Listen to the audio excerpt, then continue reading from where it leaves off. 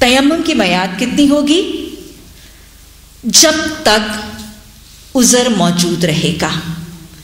पानी जब तक नहीं मिलेगा, तब तक तयम्मुम? या पाक पानी नहीं मिलेगा, तब तक तयम्मुम? या वो बीमारी या शरई जिस्मानी उज़र जब तक जारी रहेगा, तब तक तयम्मुम। जो ही वो उज़र ख़त्म हो जाएगा या वो उज़र जाता रहेगा या वो उज़र फौत हो जाएगा तो फिर फ़ौरन वज़ू या गुसल का अमल अपनाया जाएगा।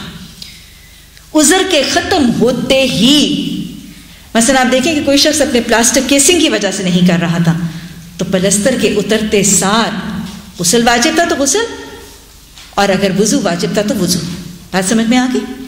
अगर एक ऑपरेशन वाला मरीज़ अपने टाँकों के खराबी की बुनियाद पर गुसल नहीं कर रहा था तो जो डॉक्टर ने मशवरा दे दिया कि अब आप गुसल कर सकते हैं तो फिर क्या?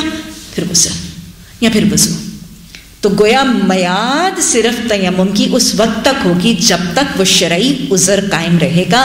शरई उज़र के जाते सार ही तहारत और बाकी के असल तरीकों को रजू करके पलटा जाएगा।